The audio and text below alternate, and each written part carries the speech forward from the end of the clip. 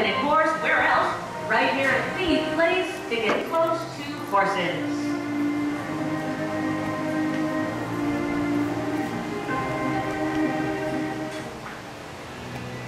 Now, he may be short, but don't you dare call him a pony. Look at his wild and rugged. The harsh reality of Iceland's climate meant that nature selected only those suited to live there.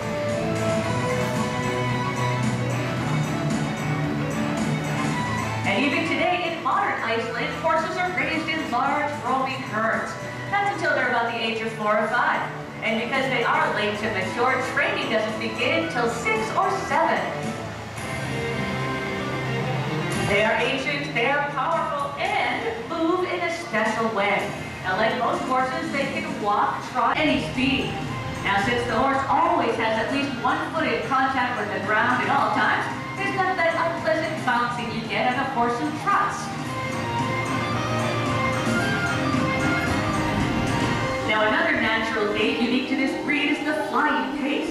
During races in wide open spaces, speeds can reach 30 miles an hour. Now, jump off. So beautiful.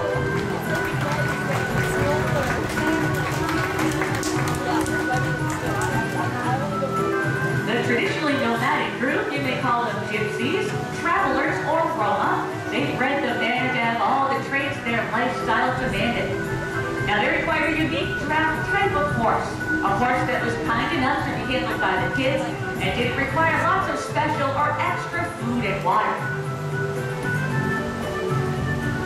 And the term Vanner reminds us of its original working purpose, and that was pulling a beautifully decorated wooden caravan wagon. A Vanner is lighter than a car or a draft, but large enough to pull substantial loads.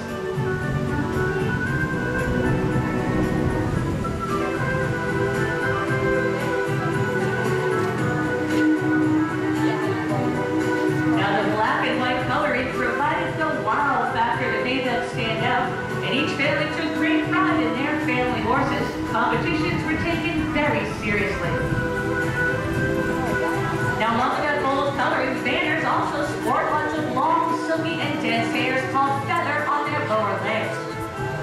Now that we know where in the world this breed came from, I know you're wondering, well, what role did selective breeding play? Well, imagine if you get a big, heavy, and tall draft horse like the English Shire. Combine that with native breeds with ponies like the Fell and the Dales, add some Clydesdales and maybe a few Highland ponies to the mix, and you have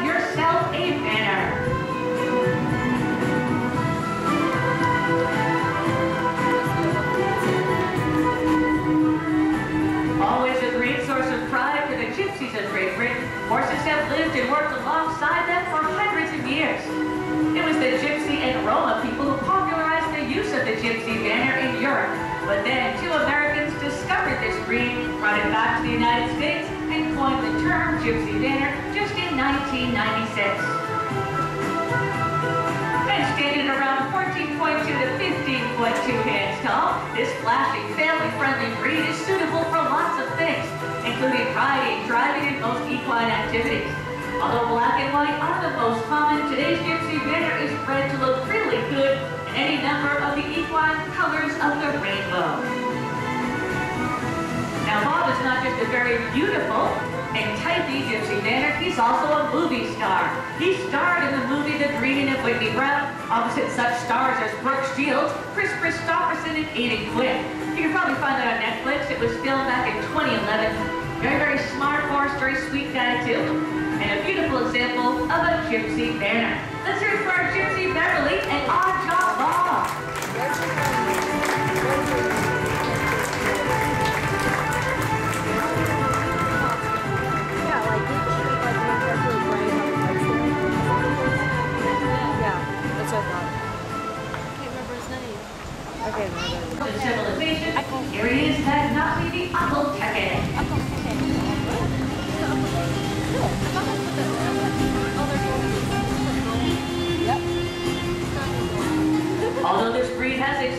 For thousands of years, the name Akhal-Teke is modern. Akhal, that's A-K-H-A-L, well, that's an oasis in ancient Persia. The second word, Teke, T-E-K-E, well that signifies the original breeders and owners, the Turkmen tribe.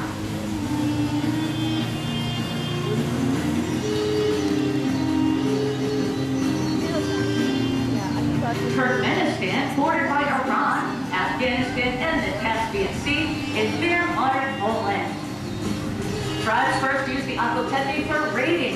Horses were their most treasured possession, and the unique qualities of the breed result from unusual management and feeding practices.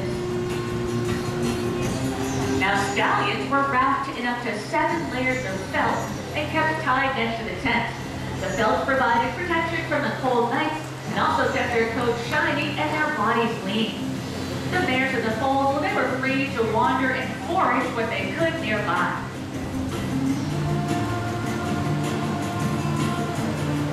Now, because grass was always scarce, Akhal-Tekes were fed an unusual diet, low in bulk but high in protein. A typical meal might include things like mutton fat, barley, eggs, butter, and even the occasional fried dough. and these horses were known throughout the world.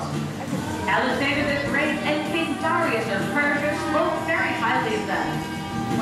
Even emperors from the Han dynasty knew them as Argamax, a Russian means sacred horses. They were willing to sacrifice entire armies to obtain just a few individuals.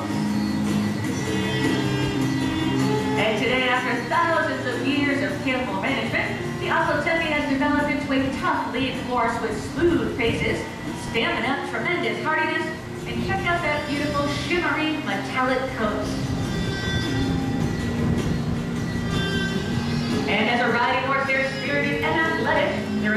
Sought after for use in dressage and show jumping. Their phenomenal stamina, of course, makes them the go-to breed for endurance riding.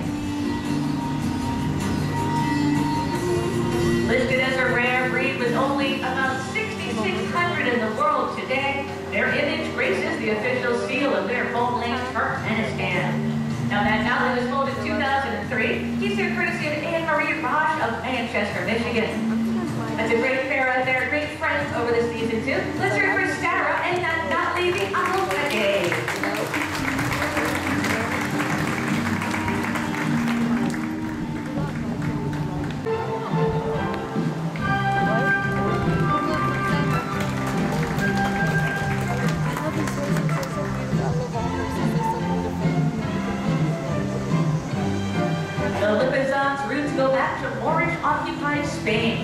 That's when Spain, Spanish bred horses were considered the optimal mounts for cavalry.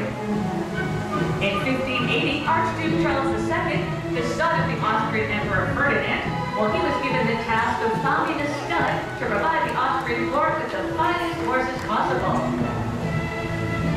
He chose a village that was named Lipizzan.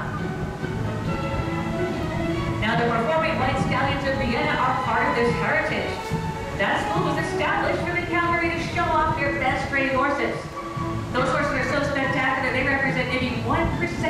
entire breed. They get only the best, and most of them are stallions. Now, all modern Lipizzans actually trace back to only six founding sires. And it is tradition to include that sire when naming your Lipizzan horse.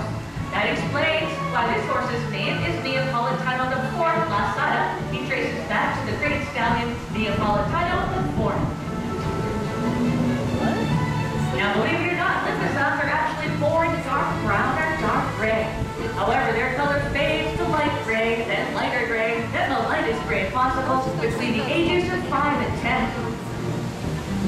Now, since white or nearly white horses were preferred by the royal family, that color was stressed in selective breeding.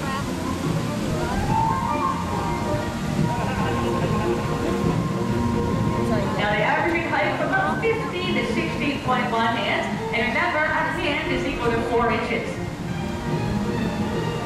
As late as 200 years ago, there were a great number of blacks, browns, chestnuts, duns, and even a few pintos in the breed. Today, of course, non-white or non-light gray Lipizzans are rare. They are, however, known for their lively character, good temperament, and of course, beautiful color.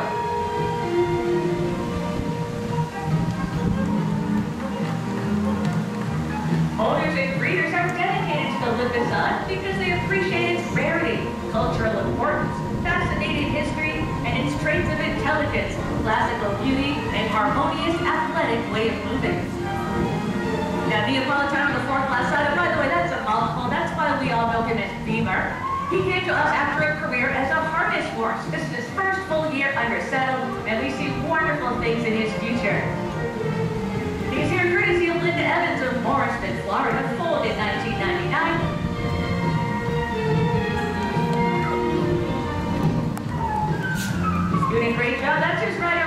Just met a couple of days ago, as a matter of fact. Let's hear it for our partners.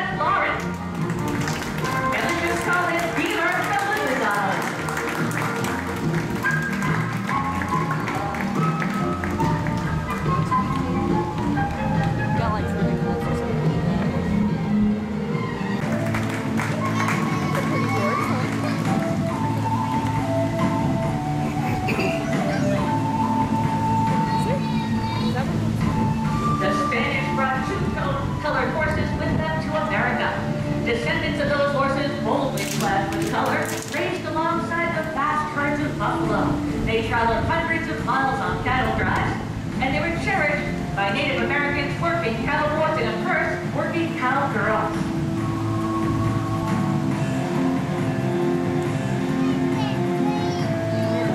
And the acquisition of the horse completely changed the Plains Indians' way of life, transforming them from pedestrians to nomadic hunters and warriors.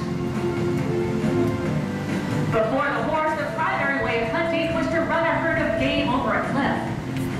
The arrival of the horse, the Indians could hunt from horseback, choosing only the most desirable of targets for their prey. Horse stealing between the tribes became the number one sport on the plains.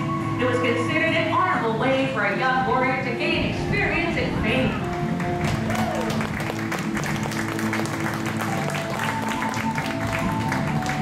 They were quick, they were smart and tough horses, decorated by nature and boldly splashed with color. Unique color patterns were passed from one generation to the next. Now the terms paint and pinto are often confused. Both have a two-tone color pattern, but horses registered as paints must be the offspring of either quarter horses, thoroughbreds, or other paint horses. By the way, a pinto is any type of horse with a two-tone color pattern. The modern American paint horse is stockier and more other light breeds of horse. They are strong coupled, strong boned, and well balanced. That's what we call a stock or working conformation. Whether working cattle, racing, rodeoing, or trail riding, one thing is for sure, these beautiful, eye-catching horses are known for their intelligence, speed, and international following often called the sports model of the horse world.